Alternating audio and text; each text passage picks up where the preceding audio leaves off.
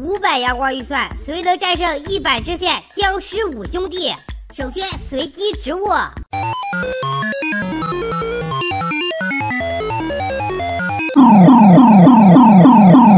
向日葵这个不算，咱们只随机一种攻击性植物。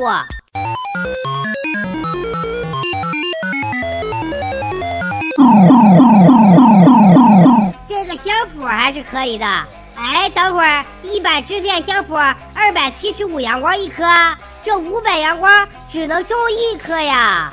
这你妹的，这也能打？最起码这个小鬼僵尸咱们打得过吧？这样的话，咱们直接先开一个小鬼僵尸罐。哎，我去，这小鬼僵尸也打不过吗？不可能，绝对不可能！咱们重新再来一次，这主要是一百支线的小鬼僵尸太强了呀！这一次咱们换一个橄榄球僵尸，这个总能打过吧？完了，走了。这个不行，那个不行，冰车总能行了吧？哎，冰车速度很慢，好像有希望呀。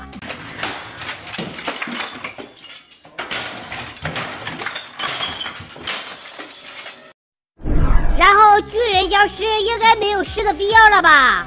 果然，这肯定什么都打不过呀。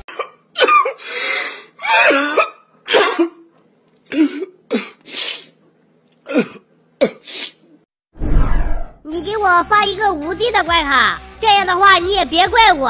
香普的话我还就不中了，没有必要。红眼僵尸怪直接全部打开，你不仁，我只能不义了呀！火爆辣椒，给我炸！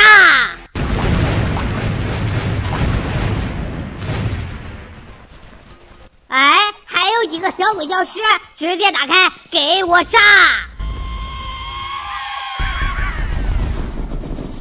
这能怪我吗？不能怪我呀！这五百阳光预算，随机一种植物，谁能打过这么强的僵尸五兄弟呀？好了，小伙伴点关注，咱们下期见。